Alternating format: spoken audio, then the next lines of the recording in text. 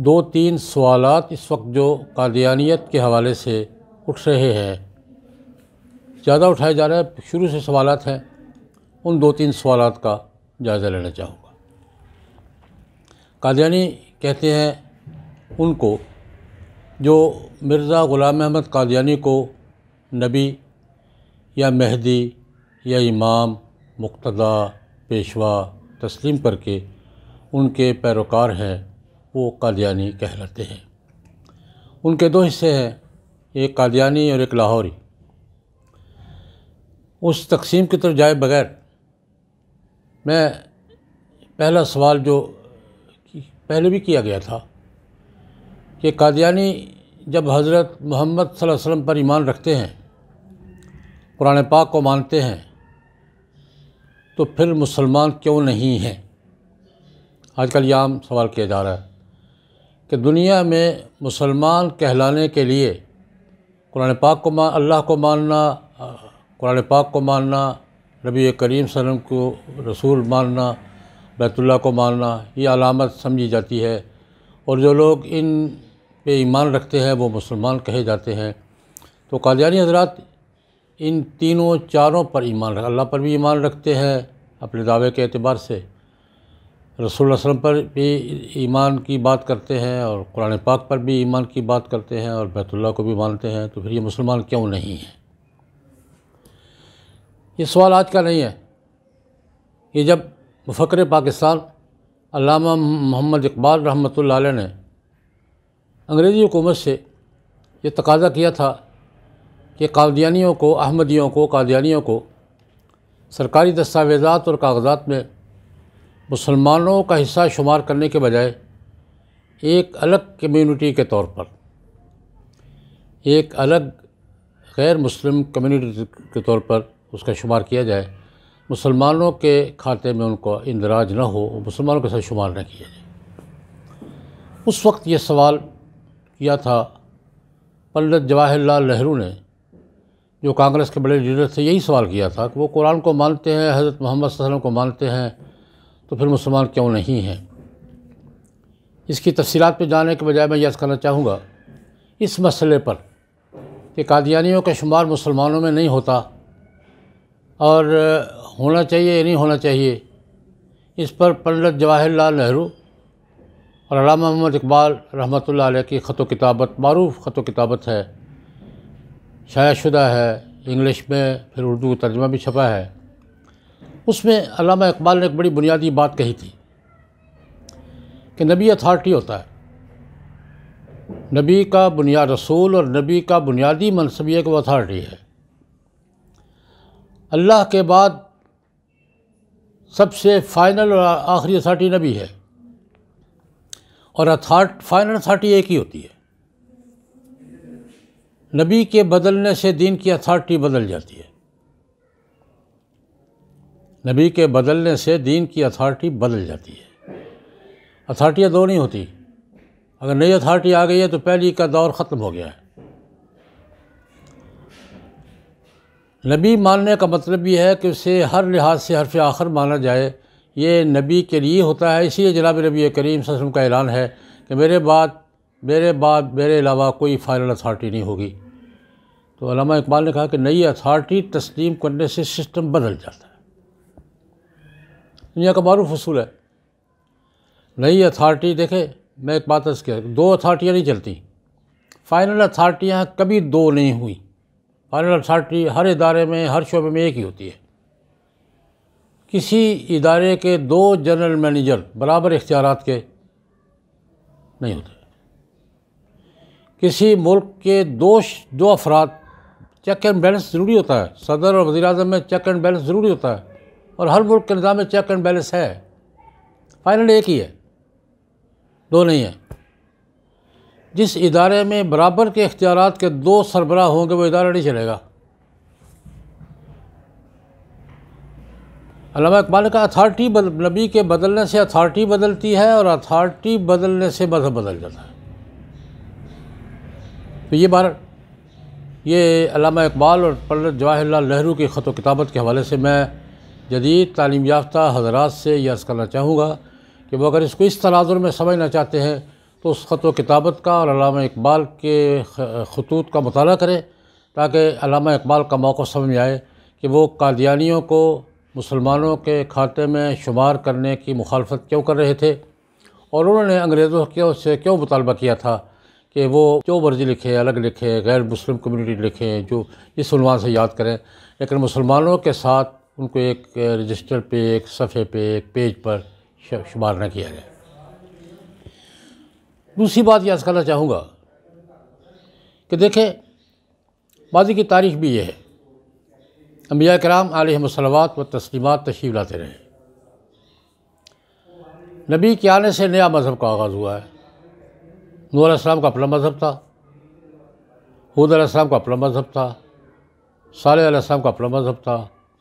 लूत का अपना मज़हब था, इब्राहीम का अपना मज़हब था, ये मज़ाहब का, और नबी के बदलने से मज़हब बदल जाता रहा है।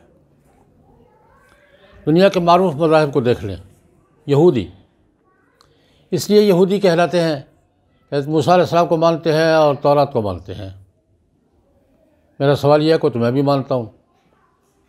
हज़रत मूसा को और तौरात को मैं भी मानता हूँ, अल्हम्दुलिल्लाह, पूरे शर सदर के साथ ईमान रखता हूँ। एहतराम करता हूँ, अकीदत रखता हूँ।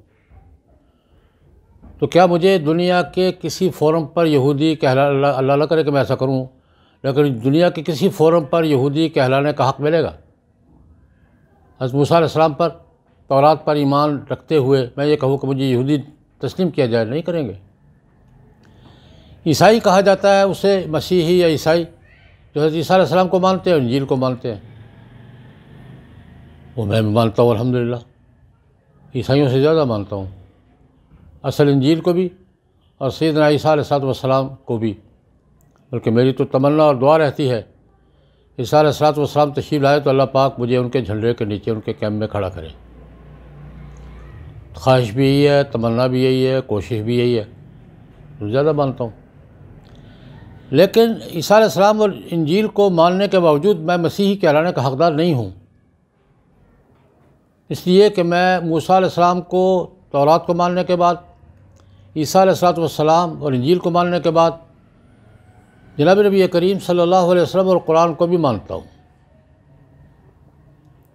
और गौर फरमाएँ, जिस तरह मूसा सलाम और इंजी, तौरात पर ईमान रखने वाले लोग, उन लोगों में से जिन लोगों ने ईसा सलाम और इंजील को मान लिया, वो पहले से अलग हो गए अलग नया मज़हब बन गया। मूसा सलाम, तौरात, ईसा सलाम, इंजील को मानने वाले लोगों में से या दूसरे लोगों में से जिन्होंने हज़रत मोहम्मद वसल्लम को और कुरान को मान लिया, वो अलग मज़हब बन गए। यहाँ एक इश्काल होता है। कि बनी इसराइल में तो नबी मुसलसल आते रहे या मज़हब नहीं बदलता रहा। देखिए, मज़हब सिर्फ़ एक है वही, नबी। एक है साथ किताब और शरीयत। नबी साहिब शरीयत आएगा, मज़हब बदल जाएगा। पहली शरीयत और होगी, ये शरीयत और होगी। और मिर्ज़ा ग़ुलाम अहमद साहब के मानने वाले भी कहते हैं, ख़ुद भी कहते हैं, मैं साहिब शरीयत हूँ, नबी भी हूँ, रसूल भी हूँ। नबी और शरीयत के आने से जिस तरह ईसा के आने से यहूदियत के बहुत बड़ा हिस्सा ईसाइत में मुंतकिल हो गया। जनाब नबी करीम सलम और कुरान के आने से बहुत से लोग वहाँ से भी आए, दूसरे भी एक नया मज़हब तश्कील पा गया। बिल्कुल इसी तरह। जिस तरह मैं अल्हम्दुलिल्लाह मुसलमान हूँ, लेकिन मूसा सलाम और तौरात पर ईमान रखने के बावजूद यहूदी कहलाने का हकदार नहीं हूँ। हज़रत ईसा सलात वसलाम और इंजील को पर मुकम्मल ईमान रखने के बावजूद ईसाई कहलाने का हकदार नहीं हूँ। इसी तरह मिर्ज़ा ग़ुलाम अहमद को नबी और रसूल और साहिब शरीयत मानने वाले वो मुसलमान कहलाने के ही कहलाने के हकदार नहीं है। नया मतलब रखें। हमें ये नहीं उनका हक है, अगर वो कोई मज़हब बनाते हैं, इख्तियार करते हैं, लेकिन टाइटल नया करें। बात टाइटल की है। मज़हब अलग है, शरीयत अलग है, नबी अलग है, सारा निज़ाम अलग है। लेकिन टाइटल पहले, मैं इसकी मिसाल दिया करता हूँ। देखिए, एक कंपनी है फर्म है, एक सौ साल से काम कर रही है। उसका एक नाम है ट्रेडमार्क है मोनोग्राम है। इसमें उसकी साख है। मार्केट उसके मोनोग्राम को पहचानती है और उसके ट्रेडमार्क को पहचानती है, नाम को पहचानती है। उस फर्म में से दस आदमी, पंद्रह आदमी अलग होकर नई फर्म बना लें। हक है उनका बना लें? कोई इश्काल की बात नहीं है। लेकिन नई फर्म, पुरानी फर्म का नाम इस्तेमाल नहीं करेगी। ट्रेडमार्क इस्तेमाल नहीं करेगी। मोनोग्राम इस्तेमाल नहीं करेगी। ना पुराने कब फर्म वाले बर्दाश्त करेंगे। तो ये नहीं बर्दाश्त करता। तो बाकायदा कानूनी हक है। नाम का तहफ़ शनाख्त का तहफ़ मोनोग्राम का तहफ़ ट्रेडमार्क का तहफ़ बाकायदा दुनिया के कानूनी निज़ाम का हिस्सा है। हमारा तकाजा ये है कि वो जो मर्ज़ी कह रहा है हमारा टाइटल, हमारा मोनोग्राम, हमारा ट्रेडमार्क, हमारा तारफ़ इस्तेमाल नहीं करें इज्तबा पैदा होता है। हमें हक हासिल है कानूनी तौर पर भी, अखलाक़ी तौर पर भी कि अपने नाम का तहफ़ करें, अपने ट्रेडमार्क का तहफ़ करें, अपने मोनोग्राम का तहफ़ करें अपनी शनाख्त का तहफ़ करें और अपनी साख का तहफ़ करें। हम कादियानियों को ये इजाज़त नहीं दे सकते कि नया नबी, नया मज़हब, नया दायरा बनाकर हमारे नाम को इस्तेमाल करें। सादा सी बात है कि ये मसला शनाख्त का है, साख का है, अपने दायरे के तहफ़ का है। जिस तरह ईसाई यहूदियों से अलग हुए हैं, मुसलमान ईसाइयों से अलग हुए हैं, इसी तरह कादियानियों को भी अलग शनाख्त, अलग ट्रेडमार्क, अलग अनुमान इख्तियार करना पड़ेगा। इसके बगैर बात कबूल नहीं होगी। मैं इस पर एक मिसाल देना चाहूँगा। मुझसे ये सवाल, अमेरिका का शहर यूस्टन वहाँ एक प्रोग्राम में था। मैंने यही बात की। तो एक साहब ने मुझसे सवाल किया कि जनाब, कादियानी अहमदी कहते अहमदी, हज़रत मोहम्मद वसल्लम को और कुरान पाक को मानते हैं तो आप मुझे मुसलमान तस्लीम क्यों नहीं करते? मैंने उनसे सवाल किया, मेरे भाई आपके अमेरिका में एक फ़िरका है ईसाइयों का। मोरमन्स नया नबी मानते हैं। मोरमन नया नबी मानते हैं। नई किताब है उनकी। उनकी एक किताब है जिसको बाइबल का हिस्सा कहते हैं वो। बाकी ईसाई नहीं मानते उनको। बड़ा फ़िरका है।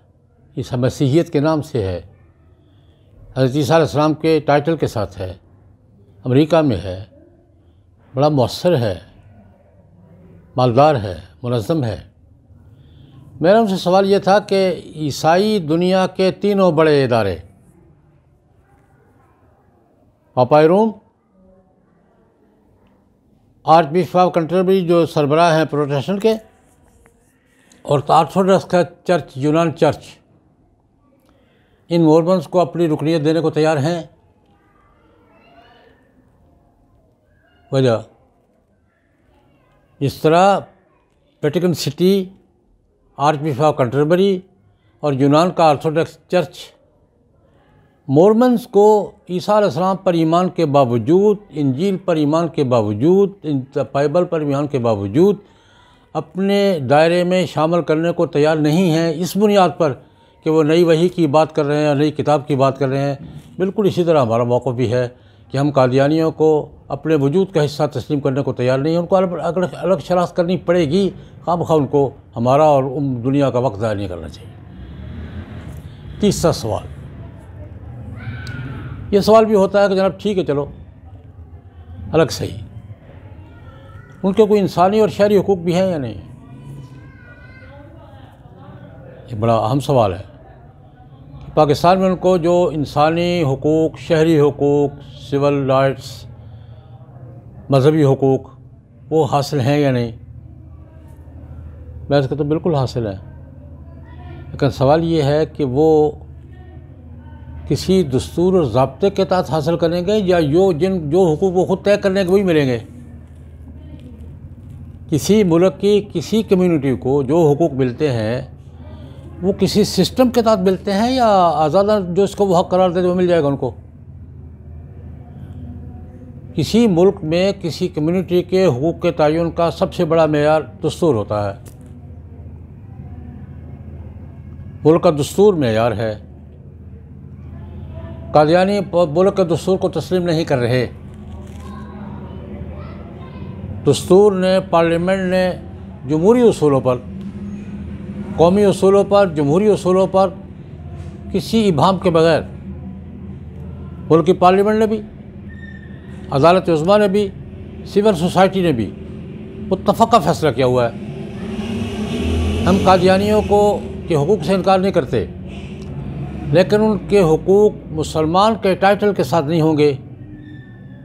गैर मुस्लिम के टाइटल के साथ होंगे। जैसे हिंदुओं के हैं, जैसे सिखों के हैं, जैसे ईसाइयों के हैं, किसी के, हम ना ईसाइयों के हकूक़ से इनकार है, मैं ना सिखों के हकूक़ से, ना हिंदुओं के, लेकिन मुसलमान के टाइटल से वो भी मांगे नहीं देंगे हम। हिंदू अपने काम करते हैं, अपने टाइटल से करते हैं।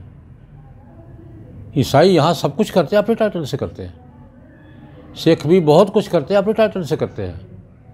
जिस दिन हमारे टाइटल से करेंगे, हम नहीं करने देंगे। मसला ये है कि जिस सिस्टम ने, मेरा बुनियादी सवाल ये है कि जिस सिस्टम के तहत वो हकूक़ हासिल करना चाहते हैं, उस सिस्टम को तस्लीम किए बग़ैर वो हकूक़ कैसे मांग रहे हैं? मैं एक छोटी सी मिसाल दूँगा।